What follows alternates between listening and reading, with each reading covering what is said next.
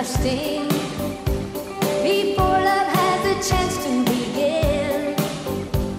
And it's never simple. Faithless hearts can cripple, and only a strong love survives.